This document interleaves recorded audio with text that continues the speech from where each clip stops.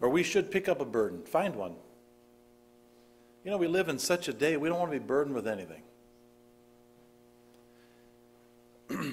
but the Lord Jesus Christ looked at Jerusalem and wept. I was on that hill there at the Mount of Olives that overlooks the city of Jerusalem. I was there, Sarah and I were there. And you can see the whole city of Jerusalem. The Bible says that he wept over that city. And when he saw the multitudes, you remember what the Bible says? He was moved with what? Compassion. It means there was something heavy on his heart. I think our Christian life sometimes becomes so light that we, we're not bearing burdens anymore. There's nothing heavy on our life anymore. There's, there's no lost loved one that we're crying about anymore. There's no needs that really break us anymore. Our, our heart becomes a little too light. And I'm not saying it should consume us, but it's good to pick up a burden every so often and just bear it to the Lord in sincerity and heaviness and ask Him to help and seek an answer. Just seek an answer. And uh, that song encouraged me. Thank you very much, ladies. Luke chapter number 17, please, if you'll take your Bible and turn there with me to Luke chapter 17.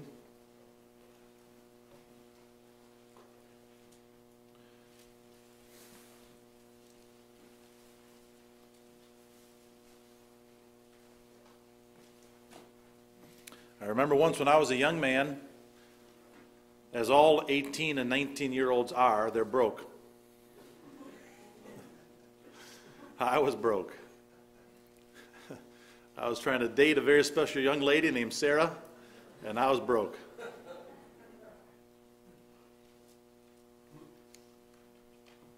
And someone asked me to help them move. In the middle of the week, of all things. And I said, Well, I'm working. I can't help you move. I'm sorry.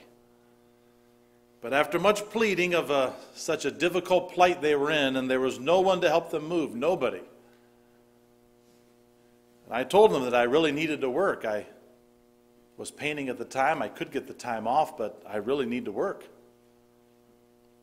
And after much begging, they said, We need you. We got nobody. We need you. Funny, I, I was the only arms and back around, I guess. Um, so I took a day off to help them move. In my mind, I'm thinking they'll probably float me a few dollars to help a young man out, you know. So I arrived there early in the morning, took the day off, day without pay, by the way. When you're working in the trades, you don't work, you don't get paid. And uh, I started helping them move. To my surprise, nothing was boxed up.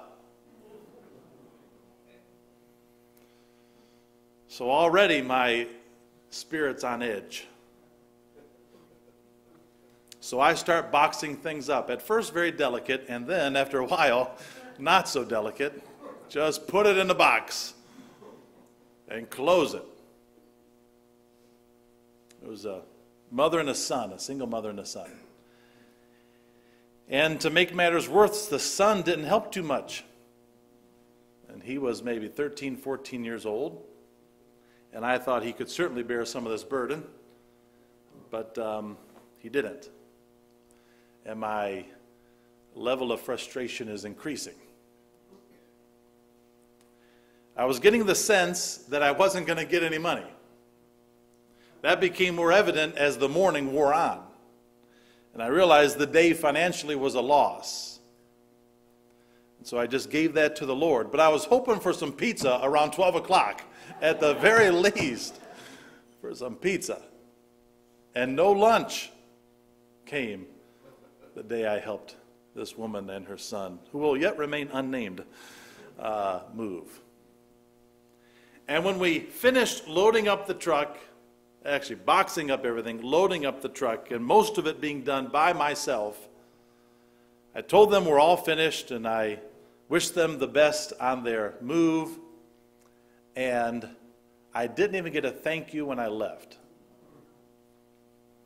And I still remember that today. We sort of groan about that, like that's even inhumane. But I'll bet you you have a similar story. Of ingratitude. What we're going to read in the Bible is an instance of ingratitude that happened to the Lord Jesus Christ. Beginning in verse number 11, came to pass as he went to Jerusalem that he passed through the midst of Samaria and Galilee. Verse 12 of 17, Luke 17. And as he entered into a certain village, there met him ten men that were lepers, which stood afar off. And they lifted up their voices and said, Jesus, Master, have mercy on us. And when he saw them, he said unto them, Go show yourselves unto the priest. And it came to pass that as they went, they were cleansed. And one of them, when he saw that he was healed, turned back and with a loud voice glorified God and fell down on his face at his feet, giving him thanks, and he was a Samaritan. Jesus answering said, Were there not ten cleansed? But where are the nine? There are not found that return to give glory to God, save this stranger. I know many of us are familiar with this text. The story of the ten lepers that were cleansed, but only one returned to give thanks and glory to God. Can I talk for a few minutes about this one man that came back? This one man that came back had plenty to be thankful for. And I'll tell you what he had to be thankful for, at least what I jotted on my notes here. He could be thankful that Jesus cared about him. There's a lot of ambiguous things in the Bible, and in this story, uh, there are ambiguous things as well. This leper that was healed, who was a Samaritan, is unnamed. We do not know his name.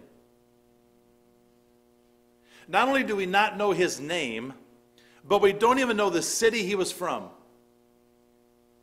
The Bible just simply says that Jesus was passing through a certain village and he saw these and came upon these ten lepers. And this leper was an outcast. No one talked to them, no one else cared about them. No one else spent time with them. No one else invested themselves in these lepers. They were cast outside of the city to stay in their little group of 10 and no more. They didn't get to talk to someone who was clean and pure. They didn't get to talk to someone who did not have the disease of leprosy. And here is this one man who returned to thank God, and certainly so because Jesus cared for him. I thank God that he cared for me. I don't have a big name. I got a popular name. There's too many Davises in this world. But I'm, I'm no I'm no pedigree. I, I don't have any any any great stock for which I could claim. I didn't come from any big preacher's family or Christian family for that matter. But I'm glad Jesus cared about me. I grew up on a street off of Denison Avenue. Well, you'd be afraid to drive through there today. 69th Street off of Denison. That road was a dead end. And from all aspects of my life, my life looked like a dead end. Poor. My dad left when I was born, raised by a single mother with my grandmother, living in the upstairs of a duplex with cardboard over the windows. And my life looked like a dead end. But I'm glad Jesus cared for me. I think this man had a lot to be thankful for that Jesus would care care enough to speak to them, care enough to minister to them, care enough to heal him. I think he could be thankful that he saw Jesus. You know, Jesus didn't go to every town. He couldn't go to every town. He couldn't cover every town and province and village and city in Galilee or in, in Israel, much less the world. And what are the chances? What are the chances of Jesus Christ coming to his village. I think he was thankful that he was able to see Jesus Christ. As many of you know, I was a bus kid. I got saved through the bus ministry, and I rode the church bus all through my school years. When I became old enough, I began to work in the bus ministry and still rode the bus every Sunday morning and every Sunday afternoon. And you know, there were a lot of streets that that church bus didn't go down. But I'm glad it went down my street. I'm glad I was picked up and taken to church. I'm glad that Jesus saw me. I'm glad that the gospel reached me. I think this man can be thankful for the physical blessings. I mean, I'm talking about blessings in his body. We, we don't really understand, we're so far separated from leprosy, we don't understand how desperately heinous that disease is and was. Some diseases are on the inside and you can't see. Leprosy was on the outside. You couldn't hide it. You couldn't hide the sores. You couldn't hide the ooze. You couldn't hide the mucus that would come from your skin. You couldn't hide the disfigurement of your face as parts of your body would actually decay and fall off. Appendages, fingers, and hands, and, and, and nose and ears, you'd lose those things as the leprosy would just eat your body and it was visible from the outside. And couldn't you imagine? Maybe this leper was so bad, his ear was gone, his nose was missing, missing some fingers, bandages wrapped all around his head, even around his head, so his eyes were just showing, and his faces, his hands are covered with the bandages. And here comes Jesus Christ and says, Go show yourself to the priest. And as he goes, the Bible just simply says he was healed. See, how far did the healing go? Could God put an ear back where it was? He did that one time. Remember Peter cut the ear off of that servant, that soldier, and Jesus just put it right back on. No stitches, no sutures, no glue, no doctor bill, praise God. Just put that ear right back on. Reattach the canal and all the things, just put the ear right back on. I'm telling you, this man experienced something in his body that was miraculous. Certainly, it's something to thank God for. I thank God for my body. Look, I'm not a perfect specimen, you all know. You know, I'm, I'm getting a, you know, I'm, I'm, in, I'm in my 40s now. And all the ones in 60s and 70s laughing, you know. But I'm getting this belly. I mean, it's not as bad as James's belly, but I'm getting this belly.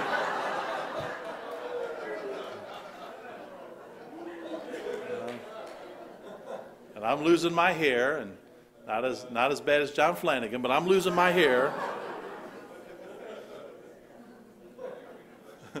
Who else should I mention? Who else am I mad at that I can say something about?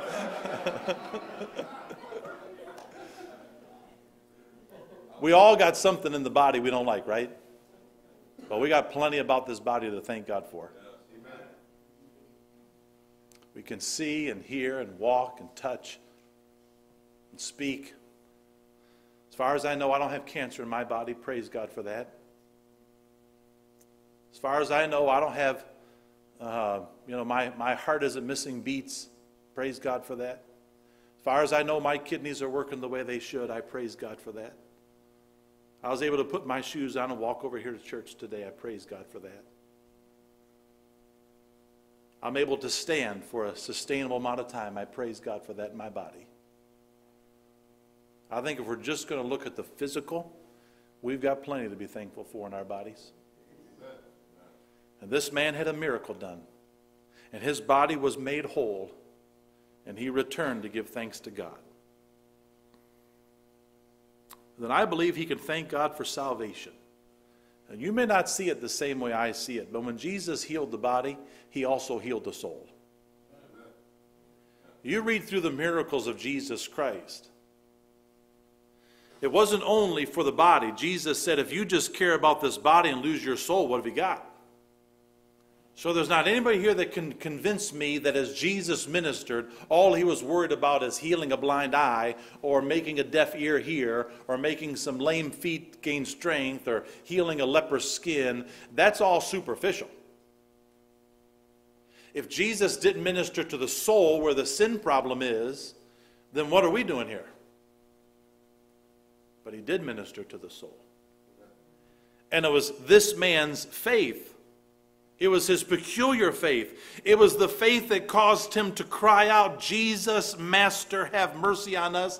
And I am thankful that anytime someone with a sincere voice and a right heart calls upon Jesus Christ for mercy, he gives the mercy. Amen. And he gave it to this man salvation. Go and show yourself to the priest. By the way, just to sort of make this hopefully. Um, maybe make a little bit more sense. I believe at this point in Luke 17, Jesus is making his way to Jerusalem to be crucified. Verse number 1 tells us uh, in, um, or actually, verse number 11 tells us in this text, it came to pass as he went to where? Jerusalem. And you all know what was going to happen there.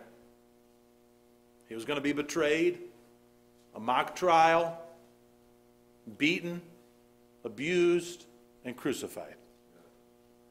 And Jesus knows what's going to happen there, and he's heading there. He's heading there.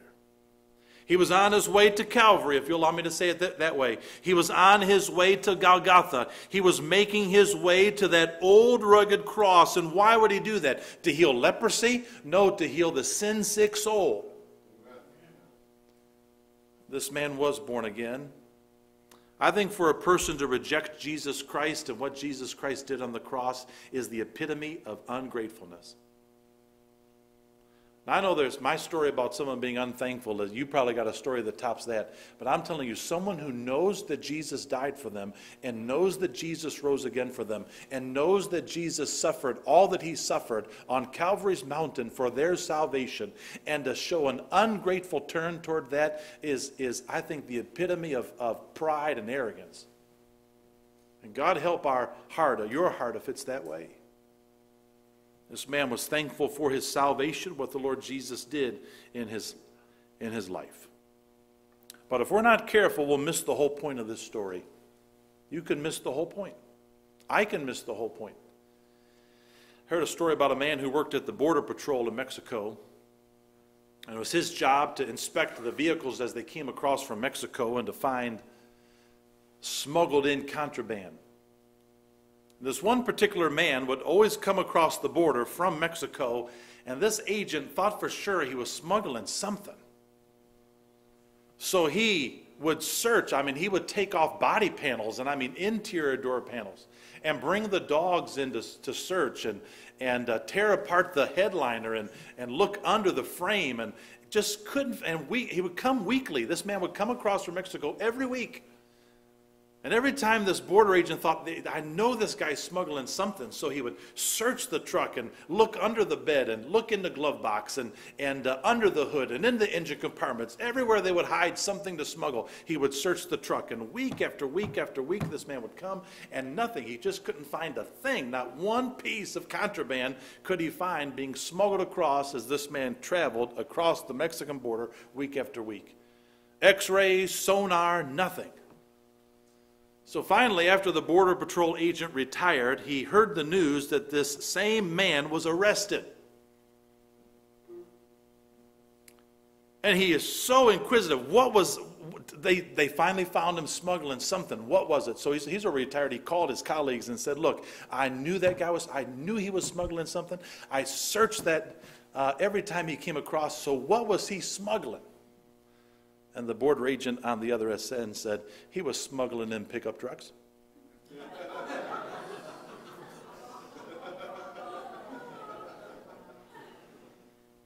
it's funny how you can search so hard for something, miss the obvious. You know what is the obvious lesson of this text? Is where are the The message of the text is not the one that came. The message of this text is where are the nine? It's like Jesus stands there stunned. He stands there amazed, and maybe I'll take it a step further. Maybe he's even hurt. Say, does Jesus get hurt and offended? Well, he had, he had emotions.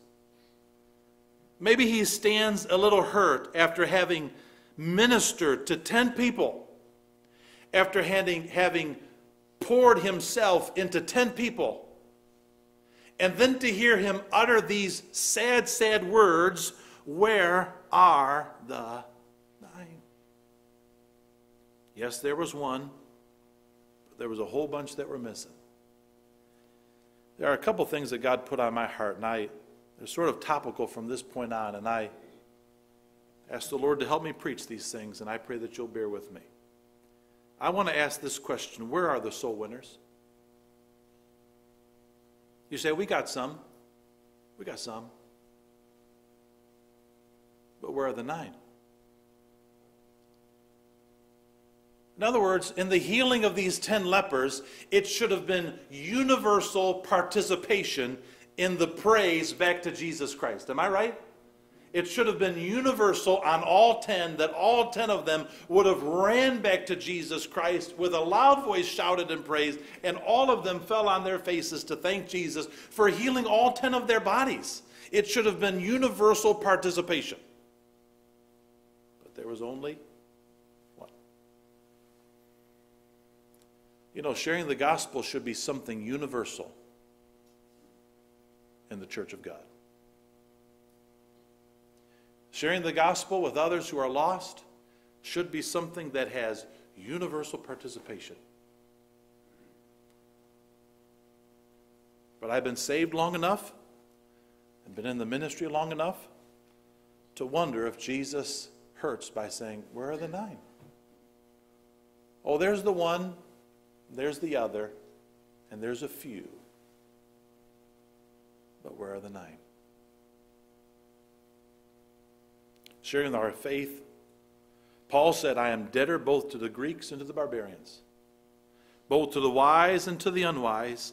And so, as much as in me is, I am ready to preach the gospel to you also that are at Rome. For I am not ashamed of the gospel of Christ, for it is the power of God unto salvation to everyone that believeth, to the Jew first, and also to the Greek. And I pray that we all believe that scripture. The gospel is the power of God unto salvation. But can I ask us all this question? I know it's going to hurt a little bit. Where are those passing out tracts? Do you know in my life, I can't think of one time I ever had anybody give me a gospel tract. You say, well, aren't there people concerned about the lost? There are, but not the ten. You'll get to one or the other. You'll get a few, but not to ten. Jesus said, Go into all the world and preach the gospel to every creature. Every creature. I'm convicted that I don't share the gospel enough. You say, Well, I wouldn't be like one of those uh, lepers. I certainly would come back and praise God because I believe there should be universal participation, but there should be also in sharing the gospel. We have a debt to pay. You know, there's two ways that you can have a debt. Um, let me try to illustrate uh, this today. Come on up, Brother Elliot, if you would. I'm going to try to illustrate. There's two ways to have a debt, okay? Actually, Matt, let me use you also. Come on up over on this side. All right, Elliot's going to be on this side. Matt's going to be on this side. Uh, if Elliot, because he's loaded, would loan me some money he hides it really good, but he's loaded, let me tell you. If he would give me money and say, look, I need that back in a week, then I would have a debt to him to pay that back. Am I right? And I would feel that debt. I really would. Now, some people in this world don't feel it. We all know. But I would feel the debt that I've got to pay that back. I owe him that money. Okay? So, Paul said, I am debtor both to the Greek, to the barbarian, to the wise, and the unwise. His debt to the Greeks and to the barbarians was not something that the Greeks and the barbarians gave him. When Paul said, I am, I am in debt to Greeks and to unlearned people to give them to the gospel, the, they did not give him the, he did not loan him the gospel, but he still said, I'm indebted. So the first way to get a debt is if he gives something to me and I've got to pay it back, that would be a debt. But that's not the kind of debt Paul's talking about. Let me explain it this way. Let's say that Matt borrowed some money from Elliot. He's loaning everybody money, so if you need some, see Elliot afterwards. Let's say that Matt borrowed some money from Elliot, And Matt wasn't going to see Elliot for a little while. Maybe he was out of town for a couple weeks. And Matt would come to me and say, Brother Greg, here's $100. I borrowed this from Elliot. When you see Elliot, give this back to him because I borrowed it from him. I'm giving it to you. Make sure you give that back to Elliot. I would say, okay. and then I would spend it. He didn't loan me anything, but he gave me something that I've got to pass on. So next time I see Elliot, you know what I'm going to feel like. I'm going to feel like that tall because I know I owe him something. Now, here's what's so cool he doesn't even know I owe him something, right? He's in the dark about the whole thing. He doesn't know I, that I, I have a debt towards you because it, it's these two, see? But I was involved in it because he gave it to me and said, give it to him. Now, listen to me today. God gave us the gospel and said, You give it out there. And I'm telling you, every time we pass someone and don't tell them about Jesus Christ, it ought to eat us up inside. You say, Why would it eat us up? Because He gave that to us, and we've got to give that out. It's our debt. But you know what we do? We spend our lives on nothing. We spend our lives on everything else, and we don't even think much about the debt we have to the Greeks, to the barbarians, to the wise, and to the unwise. But Paul understood that debt. Paul understood what God gave him, and Paul said this I am not ashamed of the gospel of Christ. It is the power of God into salvation, and I am ready to preach the gospel to you in Rome also. I'm saying today, yeah, we got some soul winners. We got others that share the gospel, and occasionally we do it. But I'm saying, where are the 10? Where are the 10? You guys can be seated. Thank you. You both did a good job. Where are the 10? You know, we got Friend Day coming up. I take that back. Friend, Family, and Neighbor Day. I want to sort of um, clarify some things because I, I've been coming to grips with some certain truths in my own life. You know, preachers learn. Do you know what I can't find in the Bible? I cannot find anywhere where we're told to build a church. Believe me, I've searched. Doesn't say that we're supposed to build a church. And we may get this misconception that pastor made up this whole friend, family, and neighbor day because he wants to build that church there in Carpenter Road. Nothing can be further from the truth. But I'll tell you what the Bible is very clear on go into all the world and preach the gospel to every creature. It's not our job to build a church. It's our job to get people under the sound of the gospel and be saved. That's it. So I'm asking you today how long has it been since you invited someone to come hear the gospel? I promise I'm going to preach the gospel clear and as best I can that Sunday morning, the 9th. You got someone unsaved in your family, a neighbor that's lost? You say, well, there's other people inviting and there's other people sharing the gospel, but where are the nine? Isn't it something that should have universal participation? Maybe the Lord Jesus is hurt because where are the nine servants of God? Where are the nine servants? I was reading a hymn when I was preparing my message. Sometimes God will just bring a hymn to my mind and I'll start singing it and then I want to see the words to it. And you don't have to turn there, but I want you to listen to these words. I gave my life for thee, my precious blood I shed, that thou mightst ransom be and quicken from the dead. Now notice this question. I gave, I gave my life for thee. Does anybody know the last words? What hast thou given O my Father's house of light, my glory's circled throne, I left for earthly night, for wandering sad and lone. I left, I left, I left it all for thee. What hast thou left for me? I'm telling you, that song's convicting, isn't it?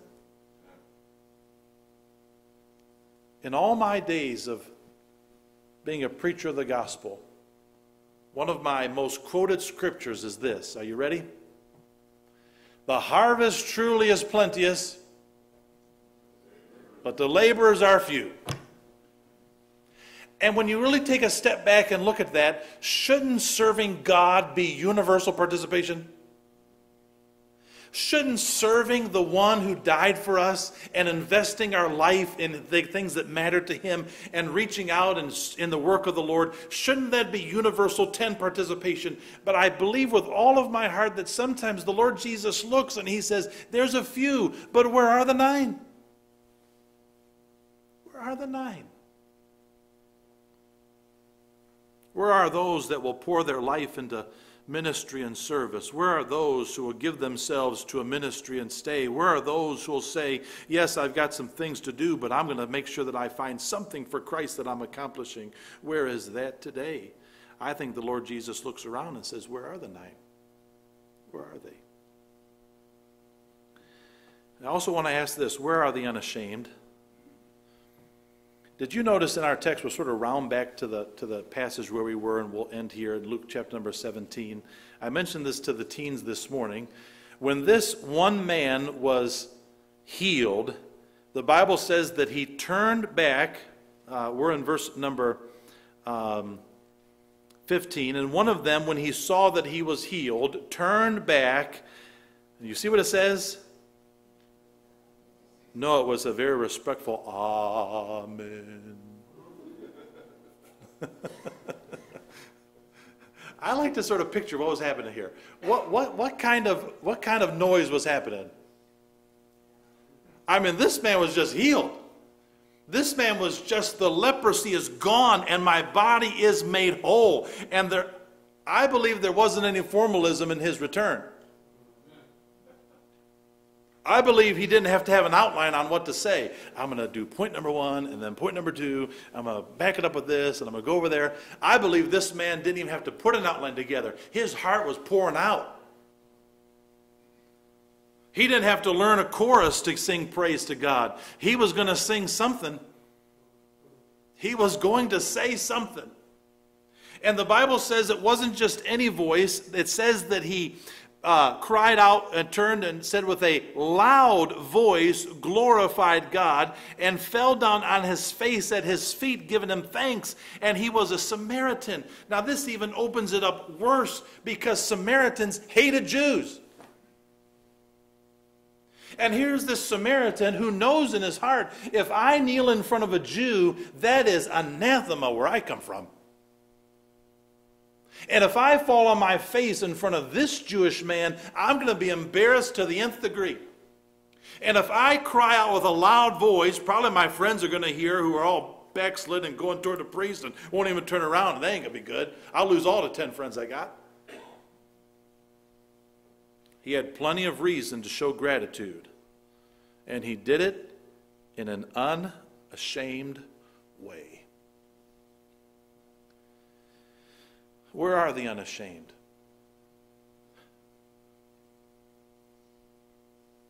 We're becoming more ashamed of our faith all the time. If you're saved and not baptized, you should get baptized. And I'll tell you why. Because it's, it's one of those things you do to say, I'm not ashamed. I'm not ashamed. Is it hard? Do you get wet? Yep. But I'm not ashamed. Can we publicly confess Christ? Will we say without any shame at all and say, Look, I'm a Christian. I'm a believer in Jesus Christ. He's got my life. I'm trying to live for Him. I'm not the same. Or are we still secret about the whole thing? I'll even share something else. I think we're sometimes ashamed to come to the altar. And I know it's not, you know, physically maybe sometimes there isn't, but I think some of us here today, there's a little bit of shame that I just don't want people seeing me. I don't want see people seeing me kneel. I don't want people seeing me pray. I don't want people seeing me. Well, if, if we're not if we're uneasy about Christians seeing us pray, we'll never pray out there. Never. Never. May God give us sort of like this man. And I, this man wasn't ashamed. He just wasn't. So excited about what had happened in his life that he couldn't hold it in and had to cry out with a loud voice. Are there some people that aren't ashamed? Oh, there's always those. There's always those who will just jump out there for the Lord. I got a friend of mine who I just talked to this week. I Hadn't talked to him in a long time. His name was Don Weeks. And he said, uh, he's pastoring in West Virginia. He said, I'm going to start a new ministry. He said, I'm going into evangelism. I, th- I said, Well, that's cool. He says, It's not evangelism like you think. He says, I'm not doing evangelism here. I'm doing evangelism in the no man land. And I'm thinking, well, there's no love offerings out there in the no man land. Churches give you love offerings. But he said, I want to be an evangelist and I want to go to the village and the city and the place and the tribe. I don't care if there's five people or 15 people. I want to go where nobody goes. He says, I want to take my shoes off and cross the river. I want to sleep on a, on a bed of dirt. I want, to, I want to part the grass for my mattress so I can take the gospel to someone who would likely never hear it otherwise. So that's the evangelism I want to do. And you know what? There's always a few of those around. Don Weeks is a unique man. There's always a couple guys who just say, Look, I'm unashamed, I'm unafraid, I'm going to blast through the, the fires, just anything for my Savior I'm in. There's always a couple. But I wonder if the Lord Jesus sometimes, with a heavy heart, says this But where are the nine? Didn't I save ten? Didn't I redeem ten? Didn't I give salvation to ten? Didn't I bless 10? Didn't I heal 10? Didn't I pour myself into 10? Oh, there's always a couple. But where are the nine? Where are the nine? I pray that God would help us to sort of jump on the side of universal participation. Universal. We're all in. We're all in. Can we bow our heads for prayer quietly today?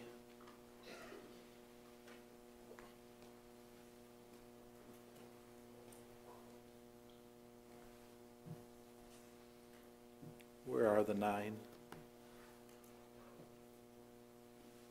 Where are those nine? Were there not ten cleansed? Can I ask today, this we may have 150 here. We might have 150 people here in church today, maybe 160, who knows? And of this group, I don't know, can we say there's 130 saved, born again people here? We don't know. I, I don't know who's saved, but let's just say for a number 130 saved. Wonder if Jesus looks down at 130 people and wonders, how come so few of that 130? How come so few are in the Word of God? How come so few of them spend time in prayer? How come so few of them pass out a track or share the gospel? How come so few of them ever invite anybody to church? How come so few of them are really energized and unashamed of Jesus Christ? How come so few?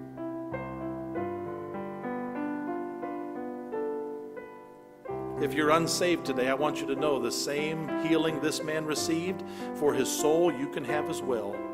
Cry out to Jesus for mercy, he'll save you. Can we stand quietly with our heads bowed?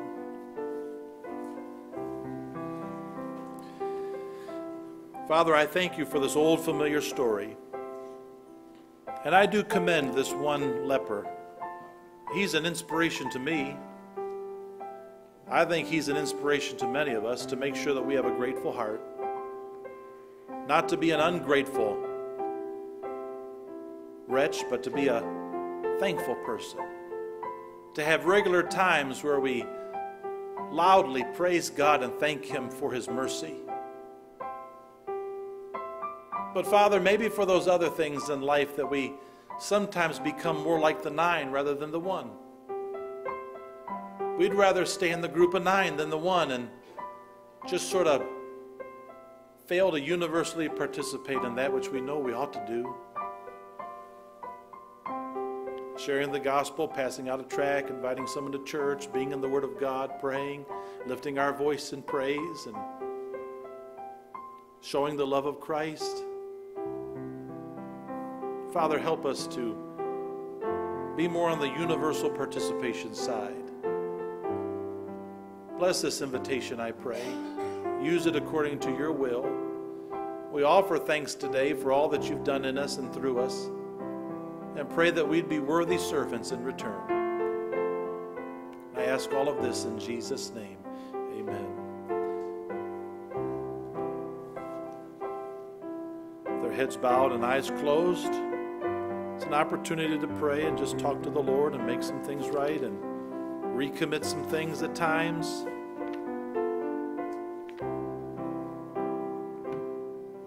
I gave my life to thee. What hast thou given to me? That's page number 543 in your hymn book. Why don't we sing a few stanzas of this today? 543 if you need it. I gave my life for thee. Will you join me, please? I gave my life for thee. My precious blood I shed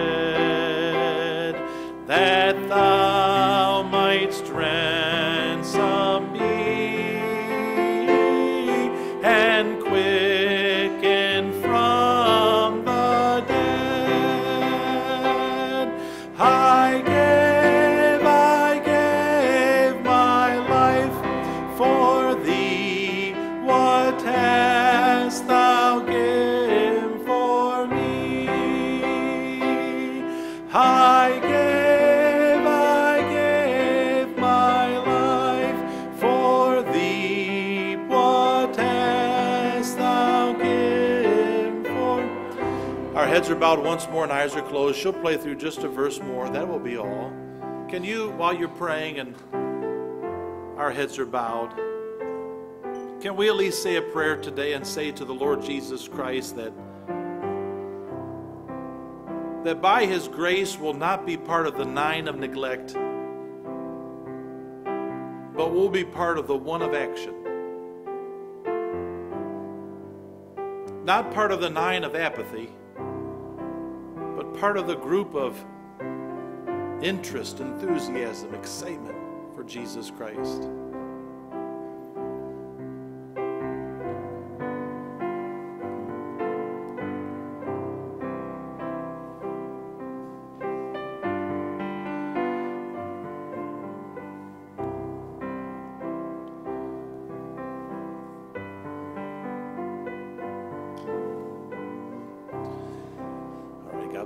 You may be seated, but Brother Matt's going to come with the annou- announcements. Uh, ushers, could you make sure that um, when the service is concluded, that a couple of you are standing back there with those flyers for a friend, family, and neighbors day?